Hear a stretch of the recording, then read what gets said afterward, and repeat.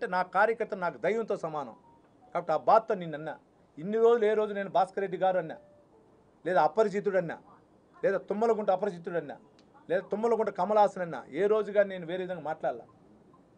నా కార్యకర్తల జోలికి వస్తే ఈ రోజు ఇప్పుడుగా చెప్తాడా ఎప్పుడైనా సరే. నేను ఆస్తులు అమ్మి ఈరోజు రాజకీయం చేస్తాడా ఏ రోజని చెప్తాడా నీలాగా తెలుగుదేశం ఎమ్మెల్యేని ఇప్పుడే కాళ్ళు పట్టుకుంటా ఉండవు. ఏడాడు పట్టుకుంటా నేను ఇచ్చినా అంటే వీళ్ళు ముందు బాగుంటుంది భాస్కర్ రెడ్డి. ఏ ఎమ్మెల్యేతో మాట్లాడి నాకు అందరూ మాట్లాడి చెప్పారు. మొన్న నాలుగు రోజులు తిరుపతి టౌన్లో తిరిగిన తెలుగుదేశం నాకు వెళ్ళినంత వాళ్ళందరిని ప్రెస్ మీట్ అంటే రేపే ప్రెస్ మీట్ పెట్టమంట వాళ్ళందరినీ. పెట్టినప్పుడు అవమానం తట్టుకోలేవు.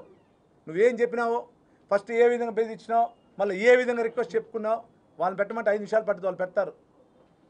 నేను అవేం ఏ రోజు తిరగల. గుర్తుపెట్టుకో భాస్కర్ రెడ్డి ఊరికే ఏదందంటే మాట్లాడు. ఫ్రస్ట్రేషన్ నీవు ఎంత ఫ్రస్ట్రేషన్ అయినా నిన్ను చంద్ర తిరగనిస్తాం. నువ్వు తిరుక్కో. నీకు అడ్డం పడం నీ రాజుగా నువ్వు చేసుకో. మేము పట్టించుకోం. నువ్వు ఎక్కడ నేను కొడతాం నీ ఇట్లా బెదిరిస్తే మేము నిన్ను కొడితే రాష్ట్రంలో నువ్వు హీరో అవ్వాలనుకుంటావు.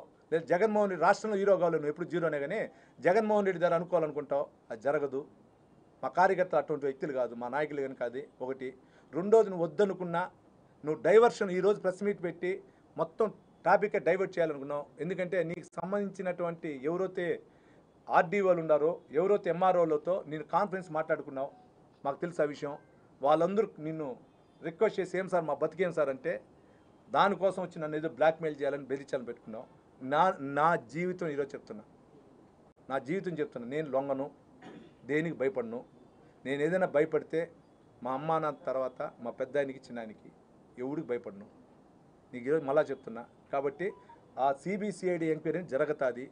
తప్పు చేసిన ఏ అధికారైనా ఉండొచ్చు నువ్వు ఉండొచ్చు నీ కుటుంబ సభ్యులు ఉండొచ్చు అందరూ పోతారు. ఎందుకంటే నువ్వు ఎక్కడెక్కడ సచివాలయాల్లో మీటింగ్ పెట్టి ఆ రికార్డింగ్ వాయిస్ కూడా ఉంది అవి కూడా ఇస్తాను సిబిసిఐడికి. ఈ ఈ పంచాయతీలో నూట యాభై ఓట్లు ఎక్కియాలని నీ కుటుంబ సభ్యులు మాట్లాడింది. నువ్వు నువ్వు ఒక చోట కాన్ఫరెన్స్లో కూర్చొని నువ్వు చెప్పింది వీడియోలు ఉన్నాయి అన్ని సిబిసిఐడికి ఇస్తా. ఇంకా ఏం ప్రొడ్యూస్ చేయాలి? కానీ మీకు ఇంకోటి అనొచ్చు ఈ సిబిసిఐడి కాదు ఒక సిట్ టీమ్ వస్తుంది పర్యవేక్షణ సపరేట్గా వస్తుంది. ఈ అధికారులు ఇక్కడ ఉండే వాళ్ళని నువ్వేమైనా బ్లాక్ మెయిల్ చేయాలనుకుంటావు ఒకవేళ ఇక్కడ ఉన్నటువంటి అధికారులు ఎక్కడెక్కడే ఉంటారు కదా నాకు భయపడి ఉంటారని కాదు. అట్లా ఎప్పుడు అనుకోవద్దు భాస్కర్ రెడ్డి. సూపర్ ఆఫీసర్లు వస్తారు. చంద్రబాబు నాయుడు గారు దీనికోసం వేస్తా ఉన్నాడు. ఇటువంటి వాటి కోసం వేస్తా ఉన్నాడు. ఎవరు వేస్తారో తెలీదు. నాకు కూడా తెలియదు నాని తప్పు చేసినా నేను లోపల పోతా లేదా ఈశ్వర్ రెడ్డి తప్పు చేసినా లోపలికి పోతా లేదా సురేష్ రెడ్డి తప్పు చేసినా లోపల పోతాడు. కాబట్టి దాది జరగదు. నా దాంట్లో నన్ను చంపాలన్న దాంట్లో నీ పాత్ర నీ కుమారుడి పాత్ర నీ తమ్ముడు పాత్ర అందరికి తెలుసు. ఇంటిగాడ నీ కుమారుడికి హారతిచ్చి బొట్టు పెట్టించిన పాత్ర కూడా అందరూ తెలుసు.